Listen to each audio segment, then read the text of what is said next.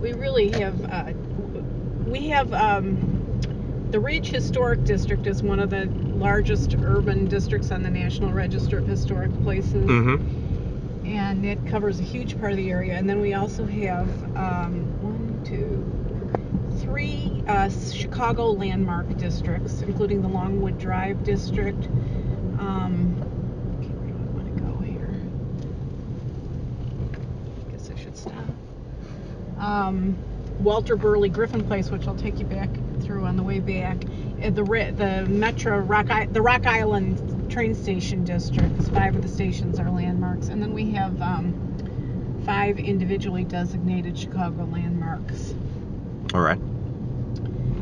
So up here, it's ju- I just think this is so interesting here. Let's see Yeah, where this should is- I go? Do I want to go here? If I get lost, we'll find our way out. No, I think if you uh, just dropped a person into this neighborhood Yeah, and This is didn't a- tell them where they were, yeah. there'd be no way that they'd guess Chicago. Look at And this. These this houses is- are just unbelievable, I think.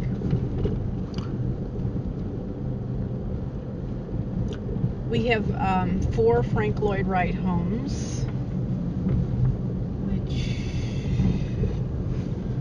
I don't think I'm going to take you by right now, but one of them is up here, North Beverly, and then there's Mhm. one on Longwood Drive, and then there's two uh, what are called American System Built homes, which were prefab Frank Lloyd Wright homes built right before the war. We have two of those.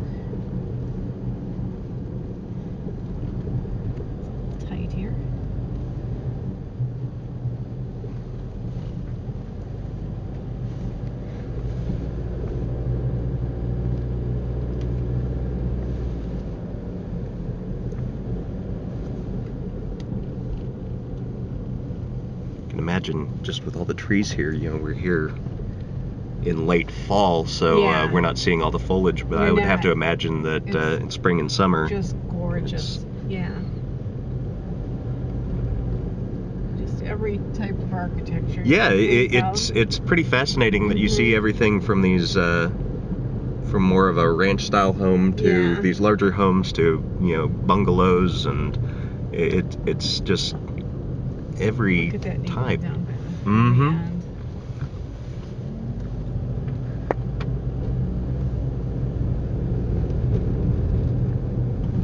We have Art Deco, International Style, Tudor. mm-hmm Um, let's see, this one up here is is unbelievable. It used to be the a Columban Fathers residence up until I think about 10 years ago, and now it's a private residence. It's, So what have been the biggest changes then in the last 25 years in terms of uh, well, of the uh, neighborhood? Commercial development has been a real priority because it, it, you know, our housing has always been beautiful and Mhm. it's really stayed in great shape. Um, whereas the commercial uh, strips kind of lagged. So getting that 95th and Western area redone was major. That's in the last 10 years. Um, you know, we've stayed very stable. Uh, housing prices before the economy tanked, you know, Mhm. had gone up a lot. Probably not as much as you saw in the trendier areas like Wicker Park, but um, we had seen a pretty big increase. Um, the cul-de-sacs went in about 15 years ago. Right. and it's difficult to, for people who don't live up here, you got to maneuver to get around them, but it does control the traffic.